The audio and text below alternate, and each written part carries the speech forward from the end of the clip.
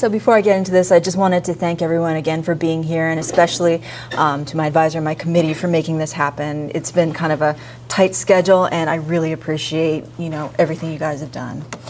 So as a way of introducing the topic, I kind of wanted to show you some of the overarching, or talk about some of the overarching questions that guided this study throughout it. So the what was kind of touched on in the uh, title, obviously, looking at a patch reef, but a patch reef with, with particularly well-developed large stromatolites, great lamination.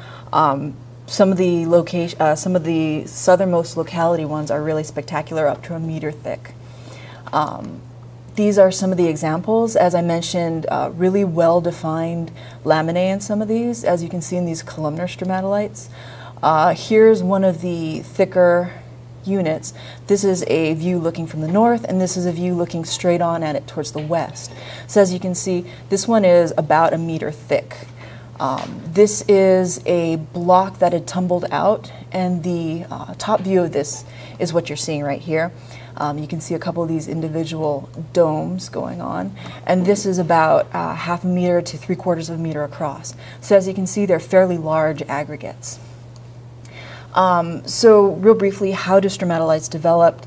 Uh, they're going to be developing, growing in a protected environment, something that isn't going to be subject to a lot of wave action that will wash away the bacterial mats before they could lithify. Um, so you're looking at either a lagoonal or a subtidal environment. Secondly, you need to have an absence of burrowing and grazing that would obliterate the mats as they grow or wouldn't allow them to lithify and to have the formation of the laminae um, finally, you also have to have ocean water chemistry that's favorable to carbonate precipitation. Um, that's a generic one, so to kind of put more of a point on it, what specific factors allowed for development of this particular patch reef with this in interval and not in the others?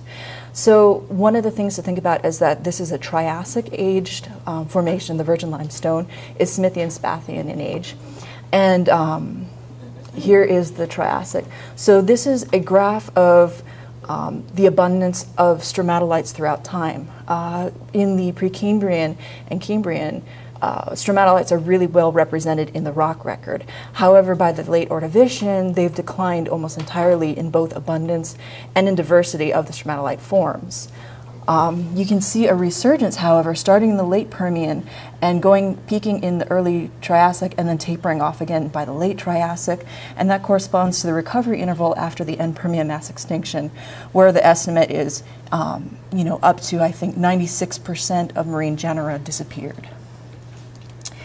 Um, so taking a look at some of those factors and applying that directly to the Blue Diamond site, looking at the um, bioturbation that was observed in the mudstones overlying the stromatolite bearing unit. These are examples, again, from Blue Diamond itself. Here's one of the cut billets where I was lucky enough to capture a cross section of a worm burrow. Um, as you can see from this example, and here are one, two, and there's a third one up here. As you can see from these examples, they're fairly simple burrows. They're linear, uh, generally unlined, and they're also horizontal to the bedding plane. Um, this is a case of spaghetti rock. Again, you're see, seeing more linear, like here's a simple burrow, here's another linear burrow. So although there's an abundance of these burrows, they don't penetrate more than about two or three centimeters into the sediment here. So looking down on it, it looks like there's a lot going on, but you're not seeing it penetrate into the deeper layers and really disrupt the sediments. Um, that's indicative of a more stressed or anoxic environment.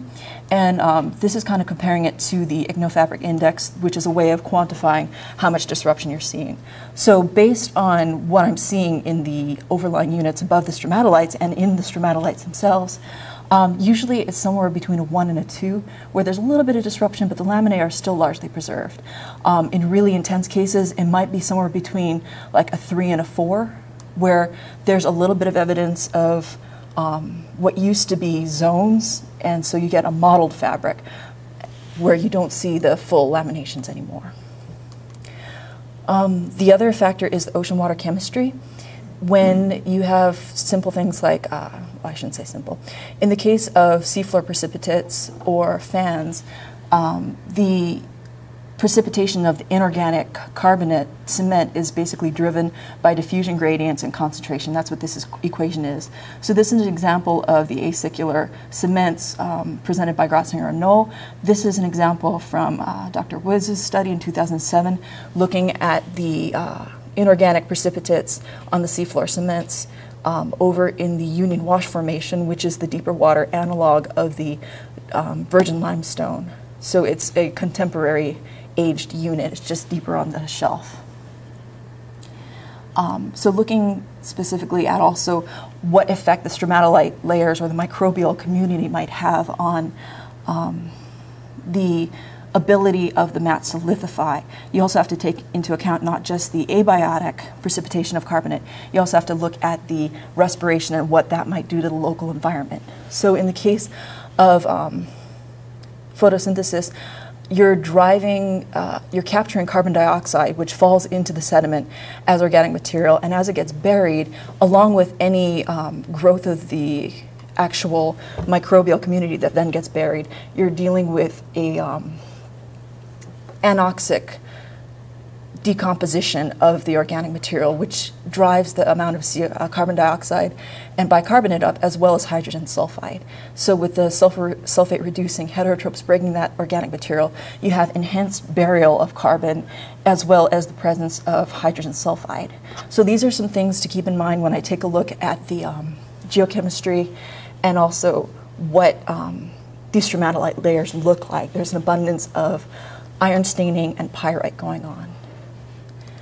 And that's what these examples are showing. So these are examples, again, from the specific blue diamond site in proximity to the stromatolite bearing layers that kind of give evidence of something going on with ocean water chemistry, some sort of perturbation. So this is a unit below the stromatolite bearing unit where there's, um, these are millimeters, uh, millimeter scale pyrite crystals that are encrusting a layer. Um, you can also see pyrite staining in the stromatolite matrix itself that kind of calls out the lamination. And additionally, um, there are inorganic precipitates going on. So this is an example of a flat pebble conglomerate that's fairly common throughout the lower section of the virgin limestone. Um, these are formed when there is rapid and intense cementation of the seafloor, and before it gets fully lithified, a storm event might rip it up and redeposit it as a conglomerate. So this is um, an example of inorganic precipitation of carbonate. And additionally, ooids are also common in the um, stratigraphic section. So these are all indicators that you have favorable conditions for carbonate precipitation that would also help enhance growth of the stromatolites. So this is kind of um, the real kicker question. Why is it worth studying another example of an anachronistic facies? Based on the background information, there's a whole bunch of studies going on. Um, these are examples from the southwestern United States, but there are a bunch of studies, for example, um, Baud et al. records stromatolites in Turkey, um, Armenia, Iran, and Pruss et al. 2006 also described stromatolites uh, of the early Triassic in Turkey. So you're seeing worldwide impacts of these stromatolites resurging. Um, to kind of narrow it down, just in the southwestern United States, these are examples of uh, early Triassic stromatolites that are recorded by Schubert and Bottjer, by Pruss and Bottjer, and also by Marion Woods.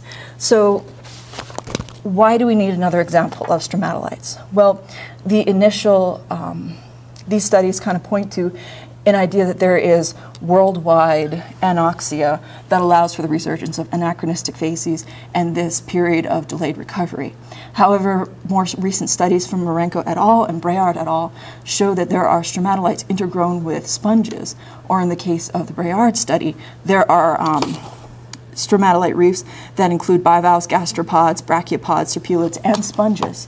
So you're seeing a more complex cohort of reef-building animals, and this is within 1.5 million years of the end Permian mass extinction. So this is a far more rapid tempo of recovery that refutes the earlier idea that there was a lag period universally, or I shouldn't say universally, but shelf-wide. So the fact that you have these um, discrepancies between timing means that there are local factors that go into play. And that's what the significance is of studying the um, Blue Diamond site, because there are um, Obviously, local factors, so that would be things like water depth, the makeup of the individual community, um, individual, uh, excuse me, I'm catching my breath here, periods of flooding from um, of anoxic water from the deeper shelf environment up onto the shallower shelf. And these are all factors that interplay to create the recovery interval locally. So by looking at the stromatolites as a case study at the Blue Diamond site, we're giving a little bit more detail into this increasingly complex model. So that's really what's driving the hypothesis, that there are um, local and intermittent stresses that allow for the emergence locally of these patch reefs but it might not necessarily be a shelf-wide event. So moving on to the study location, why choose Nevada for this particular study? Um, the, um, oh, excuse me, this is a study from Marzolf trying to basically take a look at Mesozoic rock units. And due to basin and range and these thrust sheets, um, a lot of the Mesozoic sediments or Mesozoic rock units got dismembered and dispersed across the southwest. At the latitude of Las Vegas, these are some of the least deformed, least chopped up units. So the fact that I was able to look at an outcrop that's really well defined from the contact between the lower red and the lowermost um, virgin limestone and then go up the stratigraphic column from there um, is really valuable because it's fairly intact and we can really place where this unit is. So that's one of the values for choosing um, this less deformed, um, better exposed area. This is an example, uh, well, this is the aerial that kind of shows that less deformed unit. So the area I'm talking about is this block right here of virgin limestone. You can see there's a little bit of pink there that represents the red beds of the lower red. So this is the very bottom of the virgin limestone, which is great because that's where I start my stratigraphy. Um, this is a north-south approximately trending ridge, and it's a little more than three kilometers long. I traced a transect from this lowermost or this southernmost locality, locality A, all the way up three kilometers to locality C up here. A, B, and C refer to the areas where I collected stromatolites for characterizing the fabrics and creating um, petrographic thin sections. Um, let me go ahead and show you the transect real quick so that kind of puts it into context. Um, this is the transect A, A that follows the escarpment on the east side of the ridge. In addition to that, to get a little bit more detail A where the best exposures were, I also followed one of these drainages where the stromatolites were um, exposed in a stream cut. However, because a lot of it's covered with alluvium, there wasn't a whole lot, and it's a very short transect before you just run out of uh, before you run out of that particular unit. Um, so there were also a few samples that were collected from BB for characterization of the stromatolites. To give you context about what the environment was in this area during the early Triassic, um, I've got one of Blakey's really nice colored photos that shows here at southern Nevada, you would have had um, basically a warm water shelf in tropical latitudes, the open shelf environment, um, warm climate enhancing evaporation would have really facilitated the precipitation of the carbonate that um, gives the virgin limestone its distinctive carbonates. Um, these environments are represented here in this little inset uh, adapted from Pruss and Woods that shows that the blue diamond area was an inner shelf to outer shelf environment. And obviously, as the sea level transgressed, you're going to see the deeper water and these environments shift towards the east, and as it regresses, you're going to see it shift to the west. And it's also notable that at Blue Diamond there's a gypsum well, so that kind of speaks to the evaporites that you would have seen. Um, so during this period, we're looking at between inner and outer shelf environments. This is going to be a little bit deeper water, um, and it's dominated by carbonates. So that would be um, this portion of the Moenkopi right here. So you've got limestone with shale interbeds. But as I mentioned, this is the contact with the lower beds. So you're actually seeing a transgression from tidal flat red mudstones into the more um, limestone dominated virgin limestone unit. So to go real quickly through the findings, I divided into three basic sections. Um, during the field investigation, I was looking at the cont uh, continuity of the bioherm, uh, looking at morphological variations in the stromatolites over that transect area, and also looking at whether fossils and bioturbation was observed over that transect area.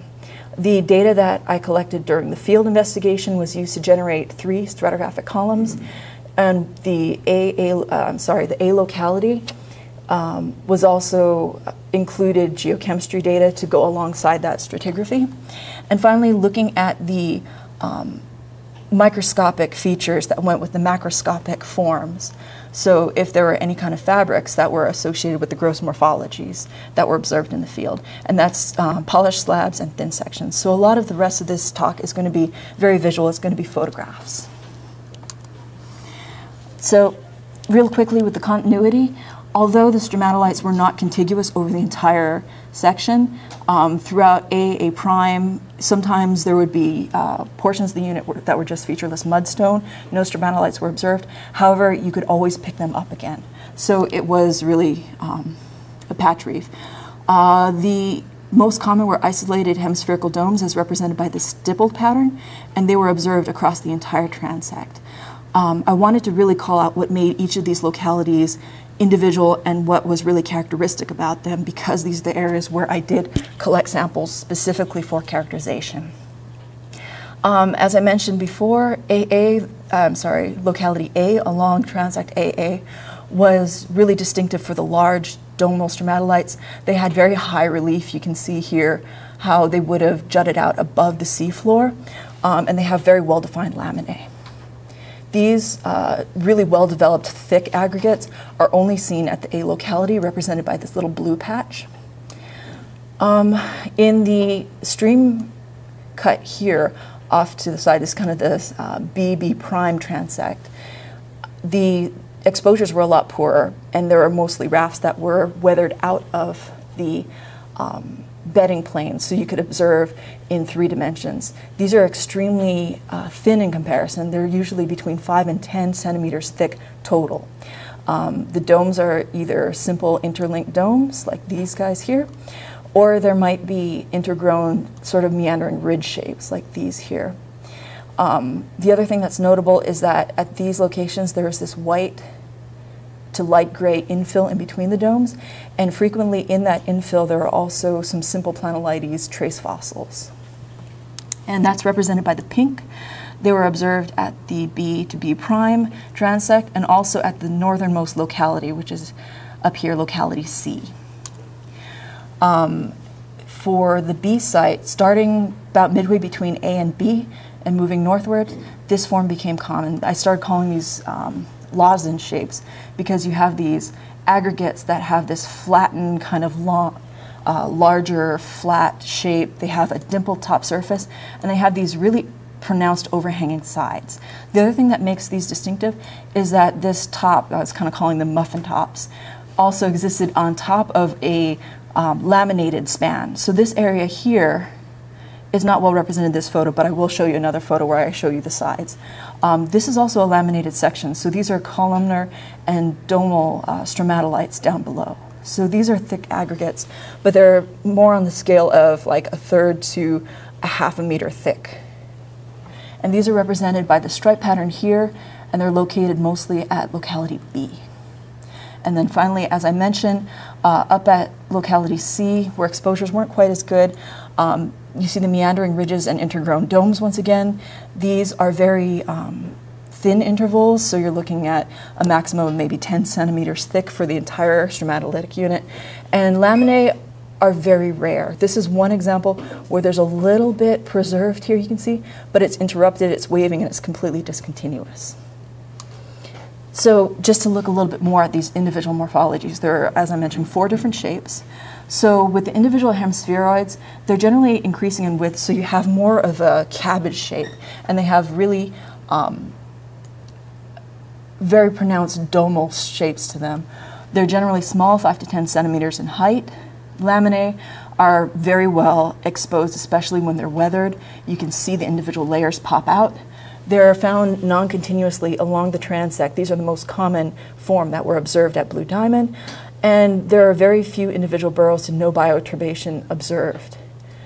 Um, moving on, with the aggregates of large domes and columns. These are the thick units seen at the southernmost locality, locality A, and they're up to a meter thick. They have very well-defined laminae. This is one of my favorite examples here.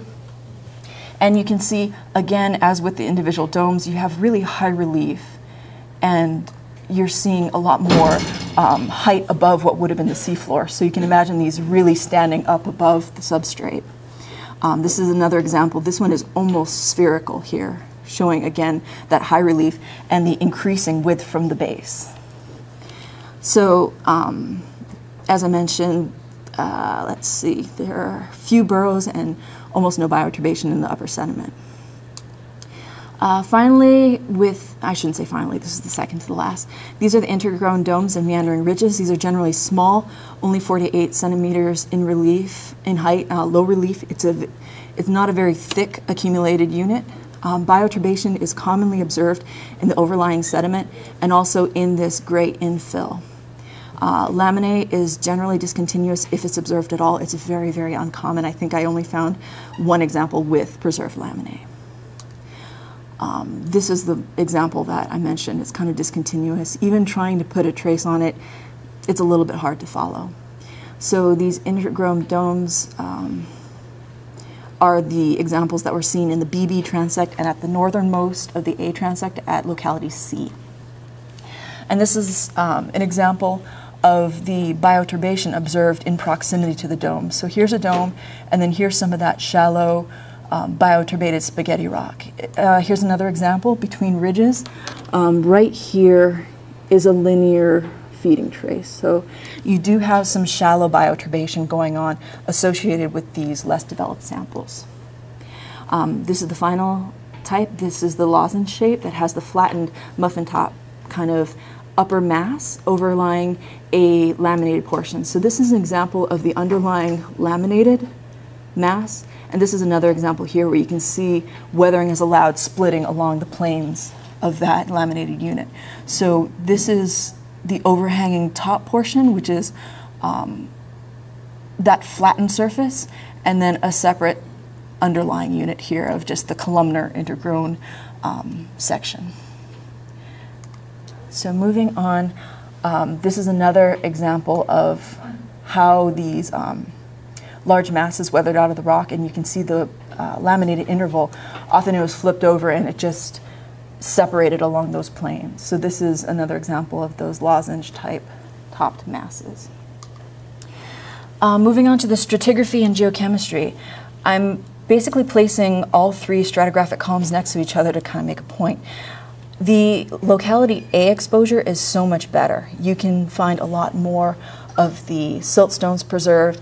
Additionally, in the covered intervals represented by these gray boxes here, um, you were able, or I was able to uncover shale by digging a couple inches below the ground surface, so between six inches to a foot or so. I was able to find um, intact bedding in these shale units. Versus up at the B locality, um, there are far fewer covered intervals where shale was recovered, and at the C locality, it was virtually impossible. It was just really completely covered with alluvium.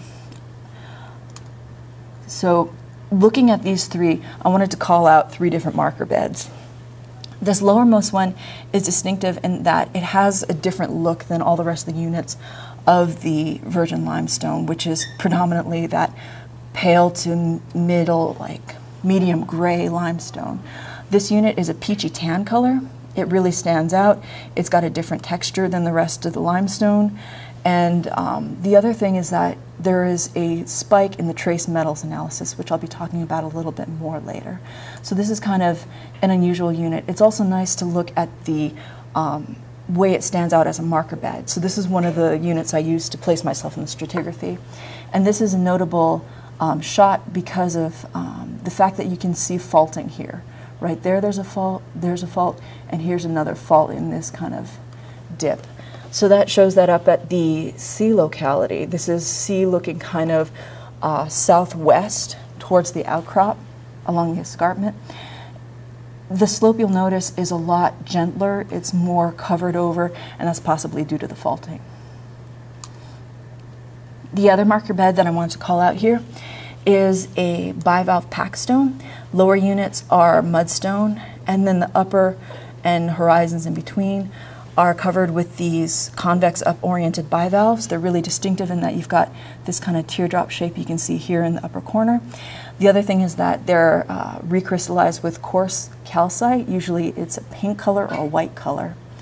And what makes this interesting is that the orientation of these large shells, convex up, it's like up to three centimeters in length, um, speaks to the idea that you have a shoaling upwards in this unit where uh, there's a higher energy environment that allows for winnowing of these larger shells and also for them to be flipped into a um, configuration that yields less friction to moving water. So this speaks to stronger currents or wave action going on within these units. Is the stromatolites themselves here, here, and here. And those we've seen some pictures of, so I'm going to real quickly move on through there. Um, the A locality was also better um, exposed, and I was able to get to the full 149 meters of stratigraphic section. So this is the uppermost portion of the locality A stratigraphy, and here's a photograph. So if you'll recall, looking at the northernmost sites, it was kind of a more gentle slope, versus here in the um, southernmost, you're seeing this distinctive stair step, which is kind of a trademark of the virgin limestone because of the alternating resistant limestone beds interspersed with the less resistant shales. So this stair stepping unit, um, these units here up at the top are these units here of massive limestone. Um, going into a little bit more detail into the stratigraphy, um, there's a pattern that emerges of packets of upwardly coarsening sediments. So I interpreted this as shoaling upwards, starting with a uh, sub wave base shale quiet, very low energy environment, um, followed by mudstone, which is a slightly more energy, uh, a slightly more energetic environment because you have occasional storm beds that are bringing pockets of shell hash and sometimes pellets or ooids into the mudstone layers. Um, the bottommost part is generally just homogeneous mudstone. The storm beds become more pronounced and more frequent moving up through it. And then finally, the topmost layer is usually where the coarsest grains are located. So there's an example uh, about midway up the A locality stratigraphy. Um, you see the same kind of pattern in the next overlying unit of shale, mudstone, increasing number of shell beds, and then finally the topmost uh, contains bivalves, and there's also hummocky cross stratification, indicating a higher energy environment. And finally, you also see this pattern in the stromatolite unit itself. So there's an underlying shale layer there. You can see the lamination still present. Um, the stromatolite, usually the lower units, are micrite with a few pockets of shell debris or there might be a few pellets in them, but generally it's micritic. And then the uppermost layer is a packstone of ooids and shell debris. So you're seeing a shoaling upwards. Um, going to the next portion, which is the geochemistry, um, and showing this in context with stratigraphy. Um, these all came, all the shale samples came from the A locality, which is the southernmost where the exposures were best. Shales that were excavated um, were washed with DI, they were dried, and then run through the ICP OES to determine the concentration of trace metals. Um, those raw the raw data of concentrations was um, they were normalized to average shale values to yield a ratio that's unitless. Those are the enrichment factors that are plotted. So that accommodates, um, that takes into account detrital input when you're looking at the enrichment of these trace metals. So this graph is the same graph that was plotted alongside the stratigraphic section. It just gives you a little bit more detail and I separated out. These are the metals that are related to oxygenation state, molybdenum and vanadium. And what you'll notice is that there's a significant peak at unit four. That was that peach colored siltstone. Um, and then there's a lesser peak building up at the stromatolite bearing layer. These are the shale immediately underlying the stromatolite. This is the infill immediately above the stromatolite. So these two peaks are significant in that you do show um, some temporary dysoxia. It's not very strong, and you don't see dysoxic or anoxic conditions across the entire stratigraphic section. It's just these pulsed intervals. In the case of Unit 4, because this is very close to the bottom of the uh, virgin limestone, when you're still in kind of a, a transition phase between the tidal flat red beds and moving up into the shales and siltstones, um, it's likely that this was a restricted lagoon and that could have allowed for stagnation um, that would have caused this temporary period of anoxia. However, once you get to the stromatolite layer, you're really well established in the limestone units. So this um, I'm interpreting as due to the influx of anoxic water from deeper on the shelf into the shallower shelf environment. And again, these are short-lived short perturbations that are um, not seen beyond these units. Moving on to the metals, barium, copper, nickel, and zinc. These are associated with productivity and the burial of organic carbon. So you see the same kind of pattern here. Of course, there's a lot more noise in this data, but you see a peak associated with unit four. That was that tan peachy siltstone.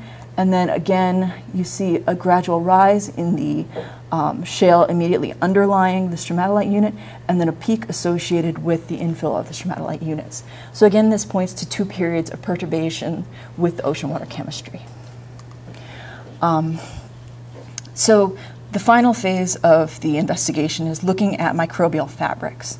These are a couple examples of slabbed samples. So these were hand samples that were polished. Um, and once you actually get a fresh surface, you can see these iron stained zones really enhance the texture. Um, this is an example that was collected from that BB transect. Um, it's a sample that was a meandering ridge that was cut. Uh, a petrographic thin section was prepared, and you can see this is the resultant slide. Um, I'll be talking a little bit more about these. And this is a nice example of an uh, individual dome in which the pinched up mud core was actually preserved and incorporated into the stromatolite. And I was able to make a uh, large thin section. This is a two inch by three inch, I think that's a 55 by 75 millimeter slide. So this allowed me to look at different levels within a single stromatolite dome, which was really valuable. And this is a thin section showing the, here's the mud core, and this is an overlying layer of encrusting paper pectens in this lowermost unit. And again, I'll kind of go through this a little bit more in the, in the next slides. So going back to this is the individual dome. Uh, different views were photographed from these different intervals to try to characterize what's going on in this dome structure. So once again, here is the muddy infill. Here are these encrusting layers of paper pecten shells, these wavy forms. Um, they're present on both sides of the neck of that pinched up mud core, which is right here. And in the lowermost portion of the stromatolite, this is actually just off, off frame here. So this is an on, um, I'm sorry, an oncoid shell? Oh, sorry, orthocone, orthocone shell. Um, that was also incorporated along with another bit of bivalve shell there. So you're seeing some coarser debris at this layer of incrustation. However, as you move up through the um, stromatolite into some of these laminated intervals, it gives way into this micritic matrix. is largely going to be homogeneous micrite, and then a few small isolated pockets of pellets. Um, and finally, at the uppermost layer here, there's another level of incrustation. So that speaks to the idea of there being um, intervals that favor incrustation and intervals that favor microbial-like growth. So you're seeing different phases and possibly pauses during the accretion of these laminae. Um, these are a couple examples of specimens in outcrop showing this pinched up muddy matrix in the middle of a really well-developed domal stromatolite. Um, the next morphology to look at is these really um, large, thick aggregates of well-formed columns and domes. And because these are so much larger, um, I'm going to present them as how I collected them from different intervals. So an example is this one outcrop where I collected a sample from the lowermost exposed unit. So this was where the shale was weathered away below it. Um, further up in that stromatolite section. And then there's kind of a natural break there. and then picking up another laminated interval, and then the overlying material here. So this is trying to characterize the entire thickness of that stromatolite. Um, this is an example of the billet that was cut from this A007. Again, this was one of the large format ones, so I was able to look at the bottommost and the topmost units. And what was interesting is um, the upper layer of this A007 was also encrusted with the paper pecten shells. So this shows that there was an interval of encrustation before the next layer of stromatolitic fabric was um, accreted uh, the center part of A007, so this part where the lamination is visible in hand section, does not show lamination in the microbial fabric. This is just stylolamination, probably due to diagenesis dissolving some of the carbonate and leaving behind a little bit more detrital debris. So for the most part, the center part of the stromatolites are just homogenized micrite. However, you do see these encrusting horizons, and that's kind of the takeaway for um, this particular sample. Moving into A008, A009, these are more of the homogeneous micrite. Again, here's just a little bit of that encrusting a few paper pecten shells, but for the most part, these are made up again of homogeneous micrite. Um, and then looking at the overlying mudstone, these again are fairly homogeneous micrite. It is not as exciting, but in the case of these two slides, they're uh, showing that upward coarsening. There are a few examples near the top surface of these two where there's um, incorporated uh, clasts and some shell fragments showing that there's a little bit higher energy, maybe a storm event that would have brought in this coarse material. Additionally, I was able to capture a, um, another burrow there. So the upper layer is really um, less homogeneous than the lower layers, and that's kind of the takeaway from these larger aggregates. This is the overlying unit. So this is the mudstone, I'm sorry, this is the very, very top above the actual laminated stromatolite portion. This is an oolitic packstone, and this is again showing the shoaling upwards as we get increasingly higher uh, energy environments and increasingly coarser materials. So this is the very top overlying unit before it goes into a covered interval of shale. So just to kind of recap, uh, there's an underlying shale unit. The core is usually micrite. There's a possible layer of encrusting paper pectens that kind of initiates the growth of these mats. Uh, middle laminae, laminae are mostly micrite. There are occasional pellets of shelly debris. Um, upper laminae are usually going to be the same kind of thing, but there's going to be more frequent zones of wackestone. There's going to be larger pieces of shelly debris. There's going to be more frequent pockets of pellets and occasional bioturbation. And then finally, the overlying portion of the unit is going to be an oolitic or bioclastic pack stone, much coarser. Um, this is the third morphology. This is that lozenge type with the overhanging muffin topping sides. And um, this is the same outcrop looking at the cross section of it versus this one is looking at the top down. Samples were collected from the underlying uh, laminated portion as well as from that overtopping bulging area. So this is looking at the lowermost. Um, two billets were cut from samples A004, A005. These are generally homogeneous micrite. Um, here are examples of the thin sections. In this A005 is a little bit um, unusual in that I think there were three or four samples in which these little rounded or chain-like oblong forms were observed. Those are likely going to, uh, those are likely blue-green algae that were actually preserved. Um, A004, occasional lenses of shelly debris, but for the most part, you're getting just micrite. Looking at the top surface with this overhanging side, a larger billet was cut here, and you can see in this cut section that you can observe laminae um, that encrust all the way on both the top surface and also the vertical sides. These are made up of the paper pecten shells, as shown here and here, and those correspond to this outermost encrusting layer and this inner laminated layer.